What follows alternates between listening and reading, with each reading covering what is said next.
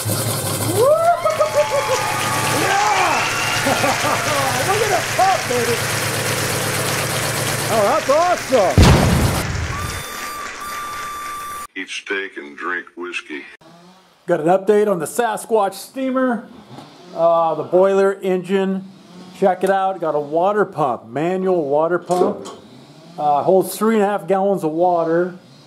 We're fingering that uh, the boiler actually only holds water from the sight glass here to there. So maybe a, a gallon and a half, two. But I don't want to, and here's, we're going to hook it up right into here with the water pump to prime it with water first and keep up with it.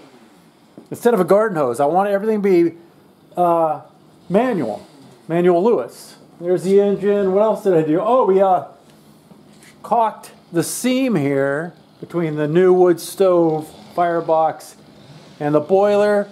So that worked really good. I'm to repaint it.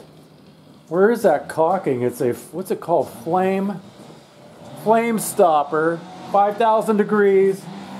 I found this generator at the Circle Bar Ranch. It works. Two plug-ins. And we're thinking hook it up to the engine if it's powerful enough. That's two horsepower at the most. How many horse is this? This is three.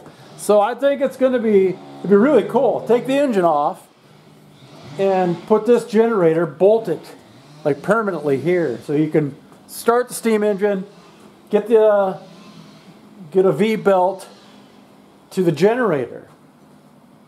What else? Uh, oh, got uh, got a four way, not the good kind like you want it to be, and I got to put that here for the Lunkenheimer whistle. Both of them are Lunkenheimers. One's way bigger than the other. Anyways, do a three way. Put the big one in the center and three whistles total. He's got my un Uncle Jack the Wagon has another, uh, a couple of, uh, where are they at? There they are. Look at the size of that thing. There's my hand. Slap that baby on there. so we're taking this smaller whistle here. And then put the showcase is going to be the bigger Lunkenheimer in the middle.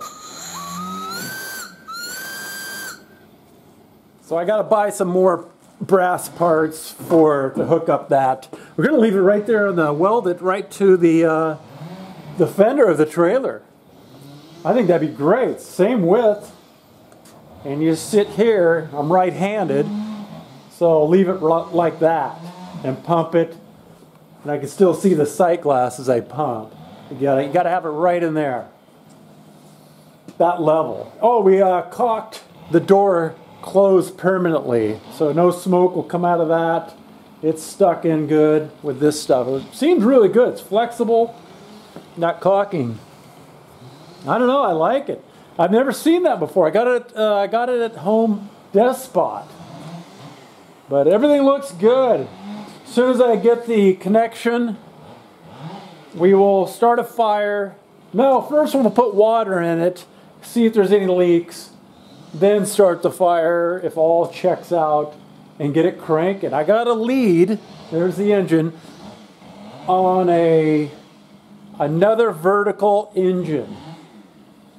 So with governor balls out, it's, it's totally balls out, a whistle and a really nice, this is a uh, oil displacement lubricator. That's where the steam oil goes into which is right here, has to be steam oil.